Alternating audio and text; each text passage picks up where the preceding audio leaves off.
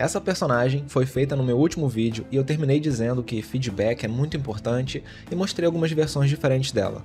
Nos comentários eu recebi ideias ótimas de como melhorar o design, então agora eu vou colocar em prática essas sugestões e vamos ver se elas vão realmente melhorar ou piorar a aparência dessa personagem. Primeiro, teve tipo uma votação sobre qual versão ficou melhor. B venceu, o que não é uma surpresa, mas não foi de lavada. Esse aqui foi o resultado. Não é perfeito porque foi contado por comentários, mas dá para ter uma ideia da preferência. Mas então, eu vou implementar algumas ideias que eu gostei e começando pela versão C, um comentário disse que preferiria sem tanta troca de cor. E eu concordo. Barriga branca, quadril azul, coxa preta, perna branca é um pouco demais. Então eu fiz a coxa continuar a cor do quadril. Por enquanto é só um rascunho e eu retoco depois.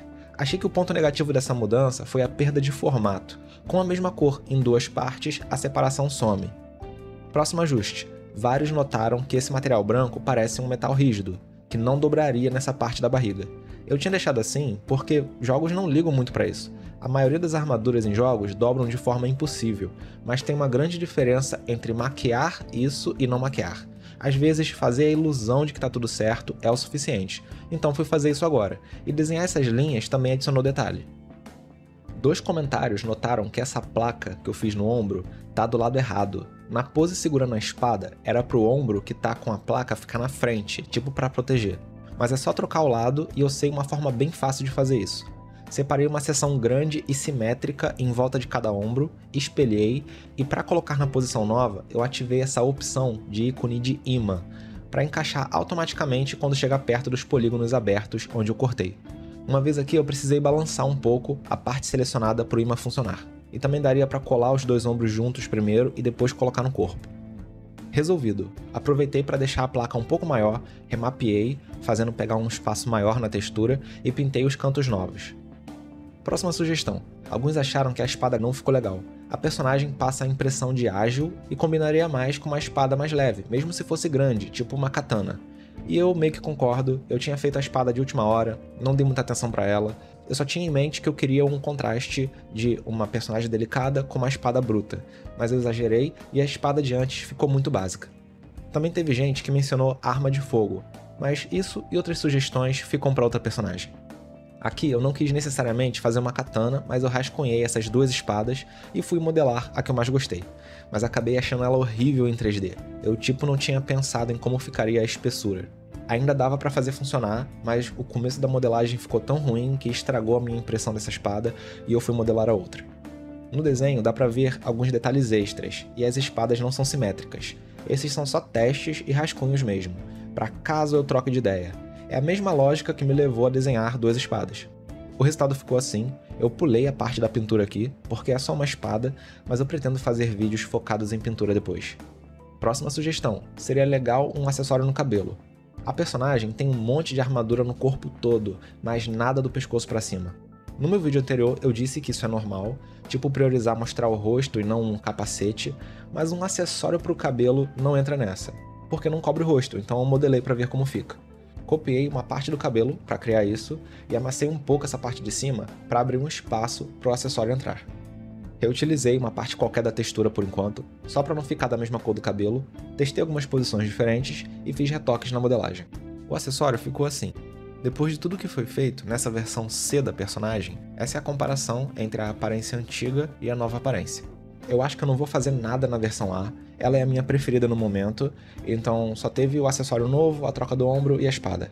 Agora, para a versão B, mesmo ela ganhando a votação, eu recebi umas ideias boas. Primeiro, que tal ela com a barriga de metal? Para isso, foi só trazer as alterações da C que eu acabei de fazer para essa. Um retoque rápido que eu fiz nessa versão, sem depender de sugestão, foi abaixar essa divisória.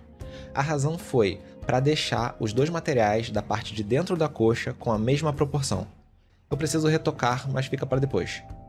O que eu achei da troca do material da barriga é que tem cor branca demais, agora tanto na versão C quanto na B, e pele perto de armadura é um pouco estranho. Por outro lado, antes nessa versão a coxa chamava muita atenção, agora não tanto porque troca de uma cor clara para outra. Mais uma alteração que eu fiz foi arredondar essa parte da coxa, porque com uma cor clara aqui dá para ver mais fácil que a modelagem é bem simples e quadriculada. Uma sugestão que duas pessoas disseram foi que gostariam de ver uma saia nessa versão da personagem.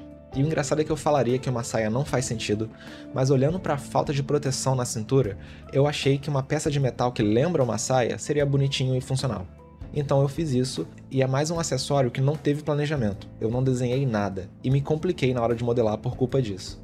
No geral, eu fiquei muito feliz com essa personagem, mas ao mesmo tempo, como sempre acontece, dá muita vontade de fazer uma personagem nova, tipo do zero e melhor. Eu tava lendo umas conversas online sobre concept art pro vídeo que eu fiz sobre Concorde, e teve alguém que disse que sente que algo foi perdido entre o concept art e o modelo do jogo. E uma resposta ótima foi alguém falando só sim, bem-vindo a concept art. Porque, é, durante a troca do meio de representação da arte, eu sinto que é natural a informação ser perdida, a aparência ser alterada. E eu acho isso não só de concept art para modelo 3D, mas também da forma que você imaginou uma personagem na cabeça para a forma que você conseguiu desenhar. Não dá para competir com imaginação. É como se fosse um personagem diferente em cada meio em que ele é representado. De volta para a saia, ela ficou assim, eu pintei umas sombras leves na pele e depois disso eu retoquei a coxa, para tirar a faixa escura que eu tinha deixado antes. Eu gosto de fazer esses degradês suaves, tipo para pele, mas o que eu não gosto é que é muito difícil não deixar com manchas e marcas. Isso acontece por eu estar usando o mouse, que não tem controle de pressão. Essa é a grande vantagem de uma mesa digitalizadora, na minha opinião. Não é a facilidade para guiar o cursor, mas sim, por exemplo, poder começar com uma pincelada forte e depois ir enfraquecendo. Eu deixo a opacidade bem baixa para tentar fazer algo parecido com o mouse, mas não é a mesma coisa. Alterações feitas, essa versão B antes e depois. Tiveram comentários sobre troca de cores. Eu não queria mexer nelas porque mudaria demais a identidade da personagem. Mas como toda a ideia aqui foi fazer as sugestões, eu voltei atrás na decisão e testei duas paletas novas. Que versão de cada versão ficou melhor na sua opinião? É um vídeo simples dessa vez, eu estou preparando uma introdução ao Blender, se tiver interesse nisso é só acompanhar o canal. Se gostou desse vídeo, deixa um like, considere se inscrever e obrigado pela atenção.